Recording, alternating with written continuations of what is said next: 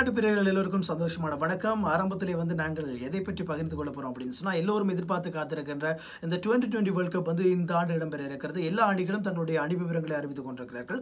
குறிப்பாக இலங்கை பக்கம் அதிகமாக எதிர்பார்க்கப்பட்டது எந்த வீரர்கள் விளையாட போகிறார்கள் யார் உள்வாங்கப்பட போகிறார்கள் என்ற கேள்விகளுக்கு நேற்றைய நாளிலே பதில் கிடைத்திருந்தது. ஆரம்பத்திலே வந்து இந்த அணிதான் விளையாடும் என்று சொல்லி எல்லோரும் ஊகித்திருந்தாலும் கூட நேற்றைய நாளில் உத்தியோகபூர்வமாக ஸ்ரீலங்கா கிரிக்கெட் அறிவித்திருக்கிறது. இவர்கள் தான் அணிக்குலாம் அப்படின்னு சொல்லி ஸ்ரீலங்கா கிரிக்கெட் நேற்றைய நாளில் அறிவித்திருக்கிறது.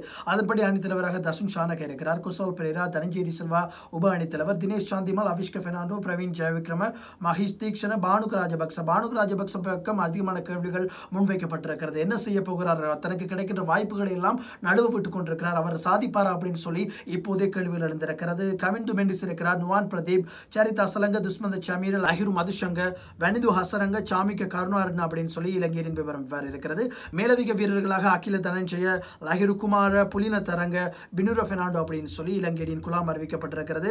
பிரிவு ரீதியான முதற்கட்ட போட்டிகள் அக்டோபர் மாதம் பதினேழாம் தேதி ஆரம்பமாக இருக்கிறது. பார்க்கலாம் என்ன செய்ய போகிறது இலங்கை அணி அப்படின்னு சொல்லி. இதெல்லாம் இப்படி இருக்க உங்களுக்கு தெரியும். இங்கிலாந்து மற்றும் இந்திய அணிகள் மோதுகின்ற டெஸ்ட் போட்டி வந்து ஐந்தாவது போட்டி ரத்து செய்யப்பட்டிருந்தது. இதற்கு பல கண்டனங்கள் இப்போது முன்வைக்கப்பட்டிருக்கிறது. குறிப்பாக இதற்கு காரணம் முழுவதுமான காரணம் ரவி சாஸ்திரி.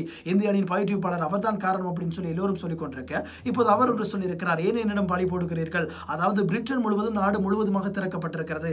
எல்லோரும் எங்கு பார்த்தாலும் சென்று கொண்டிருக்கிறார்கள் எல்லோரும் வழியை சுற்றி கொண்டிருக்கிறார்கள். இதற்கு நான் தான் காரணமா. ஒரு நல்ல காரியத்துக்கு தான் சென்றேன். புத்தக வெளியீட்டுக்கு சென்றேன். இது என்னால் தான் கொரோனா வந்தது என்று சொல்வது முற்று முழுதுமான பிழை அப்படின்னு சொல்லி ரவி சாஸ்திரி சொல்லியிருக்கிறார். இப்போது இந்திய அணிக்கு என்ன நடந்தாலும் பல விமர்சனங்களை கொட்டி தீர்க்கக்கூடிய ஒருவர் தான் இந்த மைக்கேல் வோன் அவர் ஒன்றை சொல்லியிருக்கிறார் இந்த ஐந்தாவது போட்டிகள் ரத்தானது இந்தியா முழுவதுமாக ஐபிஎல் போட்டிகளை குறிவைத்து தான் இந்த போட்டிகளை ரத்து செய்திருக்கிறது.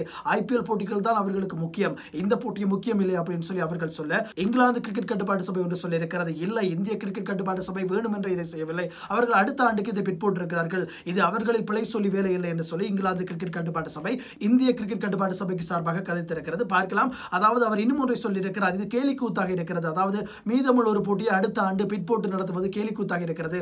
ஒரு போட்டியை நடத்தினால் தொடர்ந்து நடத்த வேண்டும். அப்போதுதான் வீரர்களின் மனநிலை ஒழுங்காக இருக்கும். அதாவது போட்டிகளுக்காக தங்களுடைய முழுவதுமான பங்கை வழங்குவார்கள். இது ஏனோ தானோ ஒன்று இருக்க போகுது அப்படின்னு சொல்லி மைக்கேல் மோன் தன்னுடைய விமர்சனத்தை முன்வைத்திருக்கிறார். கால்பந்தாட்டத்தை பொறுத்தவரையில் கால்பந்தின் ராஜா நான் தான் அப்படின்னு சொல்லி அடிக்கடி நிரூபித்துக் கொண்டிருக்கிறார் கிறிஸ்டியானோ ரொனால்டோ. உங்களுக்கு தெரியும் இரண்டாயிரத்தி மூன்று இரண்டாயிரத்தி ஒன்பது கால பகுதியில் வந்து மான்செஸ்டர் யுனைடெட் கழகத்துக்காக விளையாடி இருந்தார் பிறகு வந்து ரியல் மெட்ரிட் கழகத்துக்காக ஒன்பது ஆண்டுகள் கிட்டத்தட்ட ஒன்பது ஆண்டுகள் விளையாடி இருந்தார் அதற்கு பிறகு யுவெண்டஸ் கழகத்துக்கு சென்றிருந்தார். இப்போது மீண்டும் மான்செஸ்டர் யுனைடெட் கழகத்துக்காக சென்றிருக்கிறார். அவர் விளையாடிய முதல் போட்டியில் வந்து இரண்டு கோல்கள் அடித்து சாதனை புரிந்திருக்கிறார். அதாவது முதல் பாதியின் இறுதி நேரத்தில் ஒரு கோலையும் அறுபத்தி இரண்டாவது நிமிடத்தில் இன்னும் ஒரு கோலையும் போட்டு தன்னுடைய மீள் வருகையை நிரூபித்து காட்டியிருக்கிறார். தான் எனக்கு இன்னும் வயதாகவில்லை. நான் தான் கால்பந்தின் முடிசூடா மன்னன் அப்படின்னு சொல்லி கிறிஸ்டியானோ ரொனால்டோ தன்னுடைய விளையாட்டின் மூலம் நிரூபித்து காட்டியிருக்கிறார். இவைதான் நாங்கள் இன்றைய நாளில் எடுத்து வந்த விளையாட்டு செய்திகள். மற்றும் ஒரு காணொலியில் சந்திக்கலாம். வணக்கம் நேர்களே.